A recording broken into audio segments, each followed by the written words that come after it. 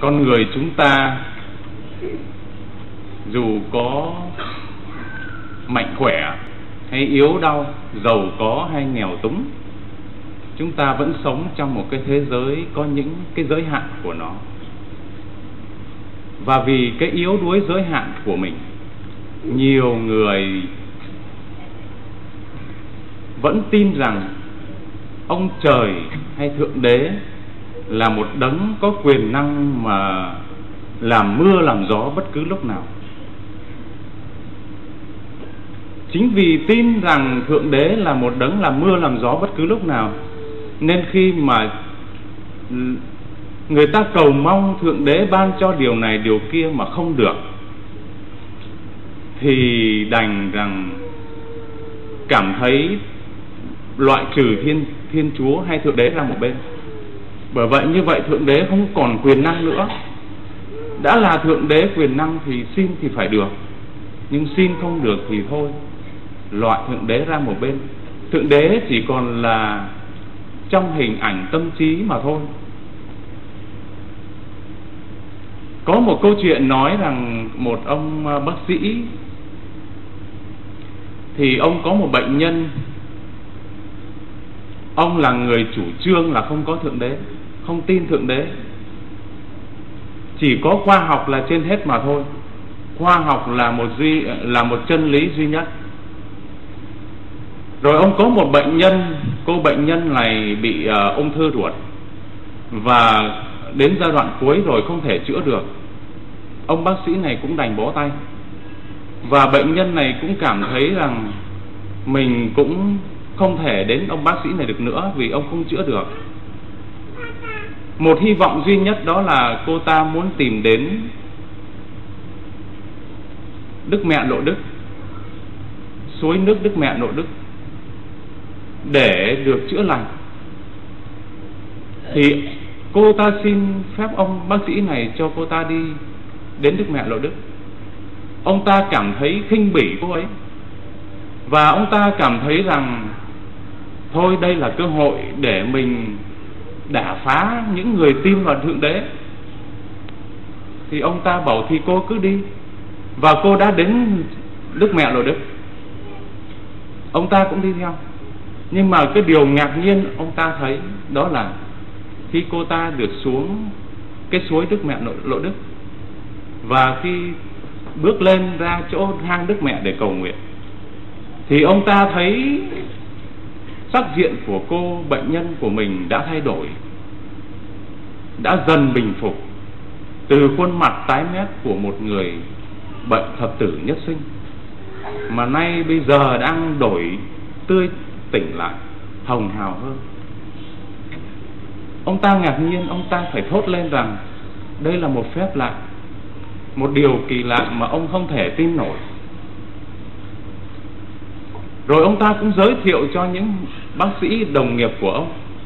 Người ta cũng xác nhận rằng cô đã khỏi bệnh hẳn và không còn bị ung thư nữa. Ông ta làm chứng rằng đây là một phép lạ ngoài khả năng của ông.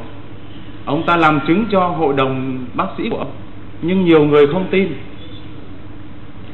Nhiều người không tin ngay cả ông đã làm chứng, có đưa ra bằng chứng như thế, mọi người bằng chứng như thế, nhưng nhiều ông không tin. Và thời Chúa Giêsu thì cũng vậy. Có bằng chứng đó nhưng người ta cũng không tin. Và thời nào cũng thế. Không phải là cứ có bằng cứ là người ta tin.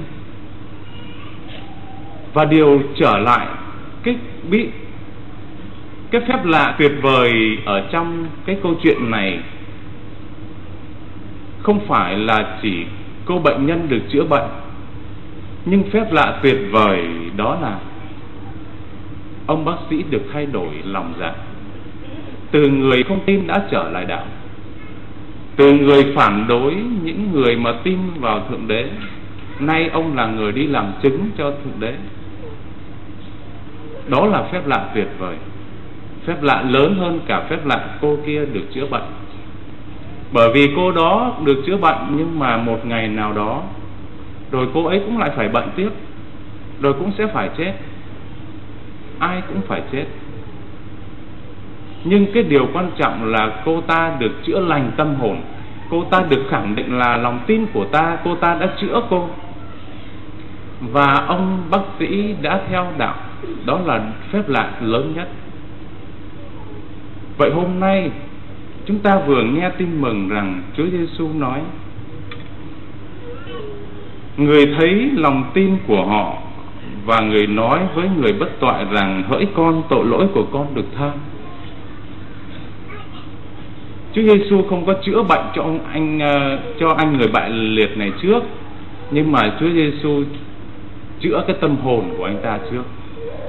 Tội của anh được tha cho anh ta một sự bình an trong tâm hồn.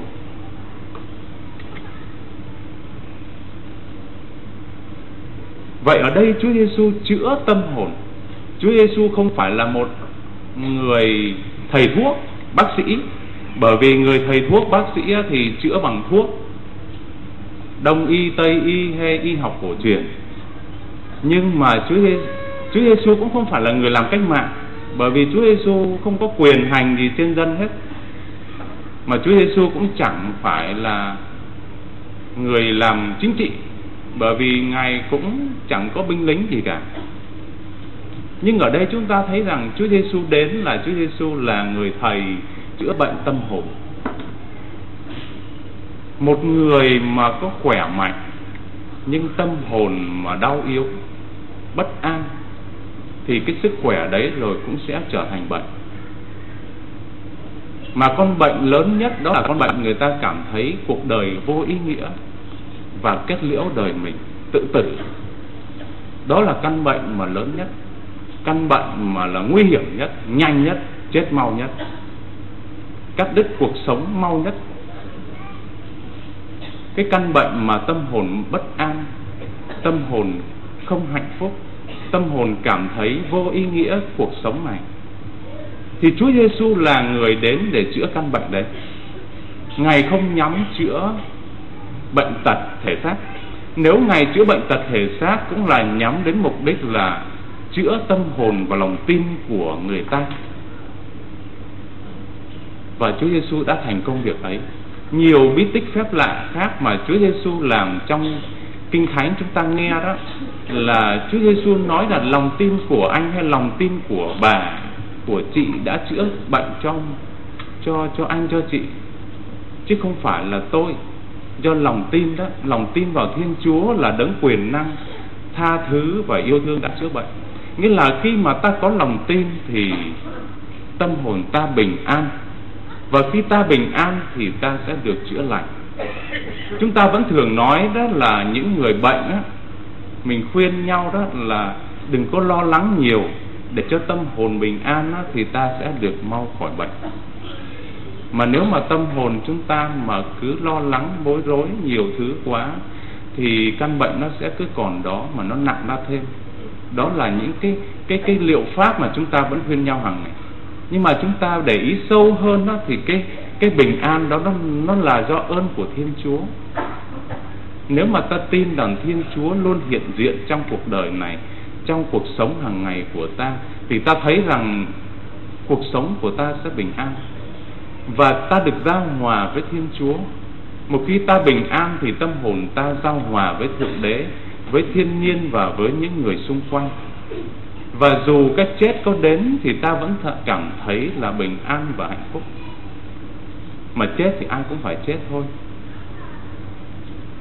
Vậy thì hôm nay khi chúng ta nghe bài tin mừng này chúng ta thấy rằng Chúa Giêsu muốn dạy cho những người từ thời xưa cho đến giờ là chúng ta hãy xin hãy xin một cái ơn lòng tin và sự bình an trong tâm hồn. Và điều đó thì có lẽ Thiên Chúa có thể cho chúng ta dễ dàng hơn là chúng ta xin à, uh, trúng số hay chúng ta ta xin uh, À, khỏi ngay căn bệnh ung thư cũng có thể Chúa cho đấy. Nhưng mà cái đó không phải là phép lạ chính. Cái chính là lòng tin của ta. Và làm thế nào lòng tin của ta kết nối tâm hồn của ta với thượng đế? Đó là cái điều cao cả nhất. Mà chính vì vậy chúng ta đến đây ngày hôm nay à, để dâng thánh lễ như thế này. Mỗi lần chúng ta đến dâng thánh lễ thế này là chúng ta đến vì lòng tin. Bởi vì thánh lễ không phải là một cái rạp hát mà ta đến vì lòng tin để kết nối tâm hồn của ta với thượng đế. Rồi chúng ta đến bí tích giải tội hòa giải. Giải tội thì nghe nó nặng, con không thích, con nghe thích, con thích nói cái kiểu là bí tích hòa giải. Bởi vì bí tích hòa giải là hòa giải tâm hồn của ta với thượng đế. Nên là những bí tích ấy sẽ tạo cho chúng ta một lòng tin hơn và một sự bình an hơn nếu chúng ta đến với tất cả lòng tin. Rồi hôm nay chúng ta đến đây, tạ ơn Chúa là mọi người đến đây cầu nguyện cho con. Cho con có cơ hội được đến đây chia sẻ với cộng đoàn, thì con cũng cảm thấy đây là một ơn gọi đặc biệt cho con. Đây là ơn Chúa, như bài hát nói từ lúc đầu, từ ngàn xưa cha đã thương con, cha gọi con giữa muôn người nhưng con nghĩ rằng thiên chúa gọi hết mọi người chứ chẳng gọi cho riêng con.